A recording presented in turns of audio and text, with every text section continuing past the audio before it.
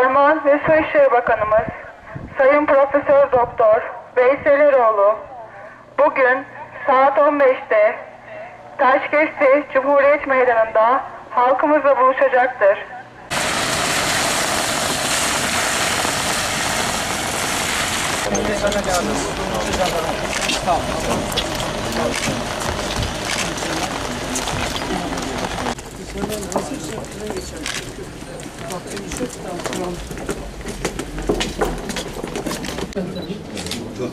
Bir araç zor geçiyor. Bir kere gösterdim ve bu tarafa giremiyorum. Üç tane. Üç yaptım. Bizim köprü yapmak bizim ölçüsümüz değil. Ama ben devlet vekilime, başkanıma söz verdim bir tane yapalım. Geldim. Köprü yapmak bizim görevimiz değil. bilirsiniz. Ama bu hakikaten turizm şey. Bunu yapalım.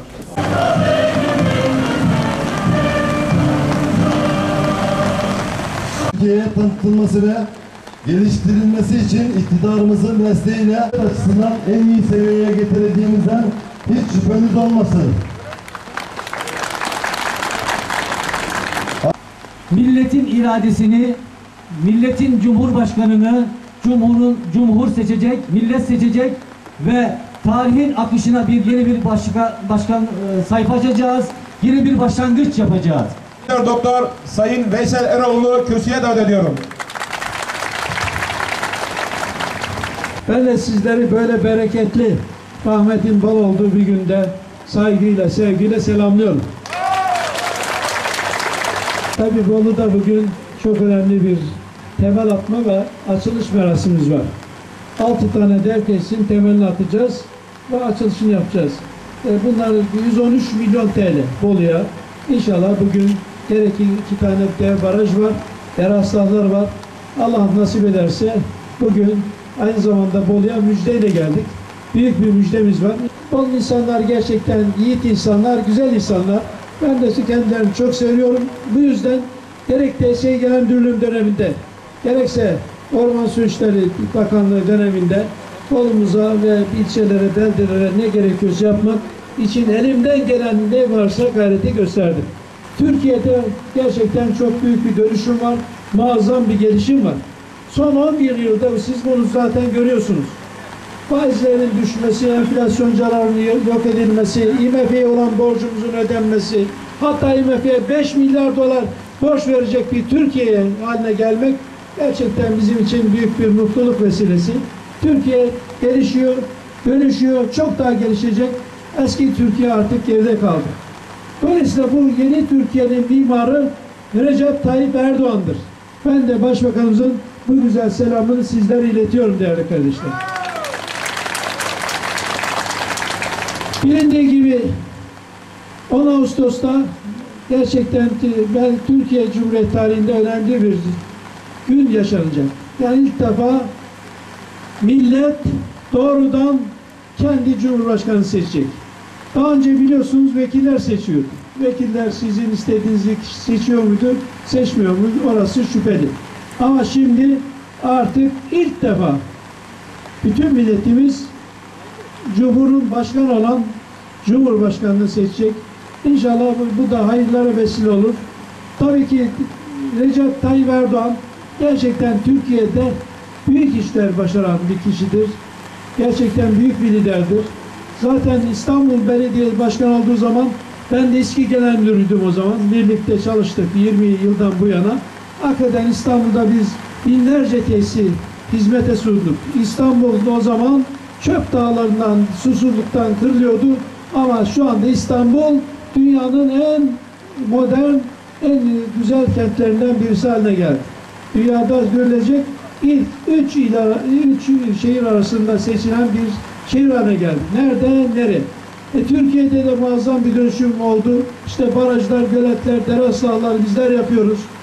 Havalanları, efendim bölünmüş yollar bunları görüyorsunuz. İnşallah Türkiye çok daha güzel olacak. Hele sağlıktaki atılan adımlar gerçekten destansı bir durum arz ediyor. Eskiden ben hatırlarım SSK hastaneleri vardı. Kuyrukta e, sabahın köründe sırada insanlar beklerdi. Niçin? Mani olmak için değil, sıra fişi alabilmek için. Sabah namazından sonra bekleyenleri, hatta sıra kuyruğunda ölenleri biliyoruz. Ama şimdi öyle bir dönüşüm yapıldı ki isteyen istediği yerde mani oluyor, isteyen istediği eczaneden ilacını al- alır hale geldi. Hatta değerli kardeşlerim, sevgili hemşehrilerim, hani hatırlarsanız ilaç fiyatları da şu anda bakın çok daha geçmişe göre düştü. Fiyatlar düştü bakın. Özellikle e, bir antibiyotik vardı. Benim 2002 yılında aldığım bir antibiyotik. E, o zaman 48 milyondu. Şimdi aynı ilaç 8 lira. 48 milyon 8 lira. İşte aradaki farkı siz, siz lütfen tasavvur edin. Ayrıca faizler o zaman toplanan vergilerin yüzde 86'sı faiz lobisine gidiyordu. O, o dönemler artık geride kaldı. Allah'a şükür IMF'ye borcumuz yok. Ayrıca faiz, enflasyon canavarı tamamen yok edildi. Ayrıca Merkez Bankası'nın kasası dövizle dolu artık. 136 milyar dolar döviz var. Yani Türkiye nereden nereye? İşte yeni Türkiye'nin mimarı Recep Tayyip Erdoğan'a inşallah desteklerinizi bekliyoruz. Çünkü Recep Tayyip Erdoğan milletin bardağı çıkmış, millete hizmet sevdalı bir başbakan ve cumhurbaşkanı adayımızdır. Sizlerden inşallah Taşkesti'ye de biz Bolu'ya çok iyi büyük hizmetler yaptık. Bakın sizlere kitapçıklar dağıtıldı. Bolu az önce değerli vekilim, şu anda il başkanımız biliyor. Bolu daha önce unutulmuş bir ildi yani. Yatırım diye bir şey yoktu. Bolu'yu ilk defa biz hatırladık hükümet döneminde. Ve burada ne kadar baraj, gölet, yol, şu bu varsa Bolu'da bütün bu işler yapılıyor, yapılmaya devam edecek. Bakın biz Bolu'ya son 11 yılda 5.2 katrilyon yani 5 katrilyon 200 trilyonluk yatırım yapmışız. Yeni parayla 5 milyar 200 milyon TL. Ama Bolu'muz, bizim Taşkent'imiz, Mudurnu'muz, Göynü'müz her şeyin en güzeline layık. İnşallah bugün biz bu müjdeyle de güzel baraj ve göletleri yapacağız. Derahlarımızı, ıslahlarımızı yapacağız. Değerli kardeşler. Tabii ki buraya Taşkesi'ye gelmemizin bir sebebi var. Belediye başkanımız çok dinamik çalışkan bir arkadaşımız. Hakikaten ben de kendisini gerçekten özellikle biz beldelere gidemiyoruz. Çünkü bizim talep çok. Ben kendi memleketimde beldelere gidemedim ama Taşkent'in fa- farkı var. Güzel bir diyar, muhteşem bir diyar. Ayrıca orman, orman diyarı neticede Taşkent'si için biz diyoruz ki Orman Su İşleri Bakanlığı'nın beldesi diyoruz. O bakımdan bu özellikle buraya geldi. Bizim Orman Su İşleri Bakanlığı beldesi değerli kardeşlerim bize bağlı. Ne gerekiyorsa inşallah buranın bahtı çok açık. Yani burası gelecekte bu yayla turizmin bir merkezi olacak. Taşkesti bakın. Size bu, bunu gö- göreceksiniz. Hükümetimiz bu imkanları da açacak. Yollar yollar tamamlanıyor. Burada, burada çok güzel villalar yapılıyor. İnsan Orta Doğu'dan zengin turistlerin mekanı olacak. Bu, bu bakımdan biz hatta şu anda Bolu için, Budurnu için, Taşkesti için, Gölük için çok özel bir program hazırladık. Artık millet denizden usandı. Millet şimdi dağ turizmini, yayla turizmini, tabiat turizmini arzu ediyor. Dolayısıyla o da nerede var? Burada var. Diyoruz ki dünyada cenneti görmek istiyorsan gel buraya kardeşim, gel buraya, gel ta Taşkesti'ye, gel Gümüldürlü'ye, gel Gölü'ye diyoruz. Dolayısıyla inşallah sloganımız da bu olacak. Biz de zaten bu konuda çok büyük bir master plan hazırladık. İşte genel müdürümüz, doğa koruma milli parklar genel müdürümüz burada. Bölge müdürlerimiz burada, şube müdürlerimiz burada. Orman teşkilatı burada. Sizlere şu haberi de vereyim.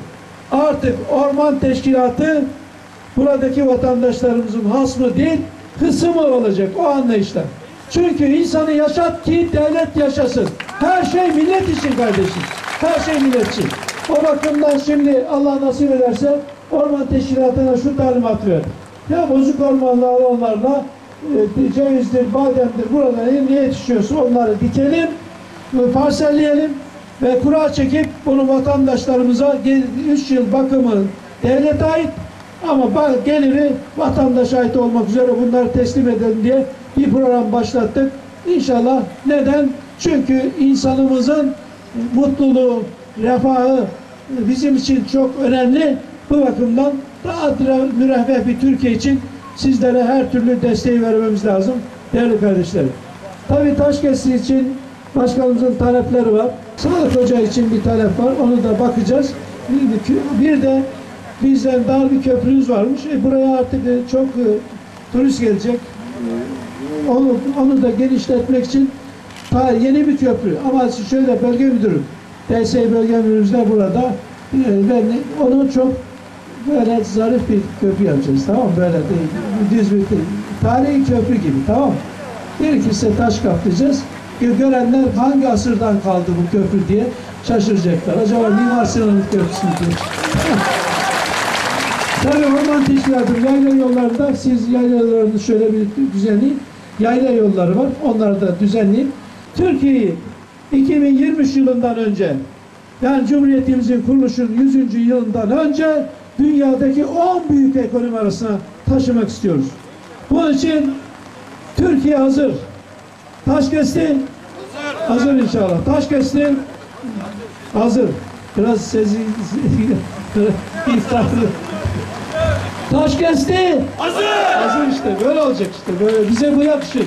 Bu millete bu yakışır. İnşallah bu topraklarda ilelebet şanlı bayrağımız dalgalanacak ve bu minarelerden ilelebet ezanları oku- okunmaya devam edecek. Tam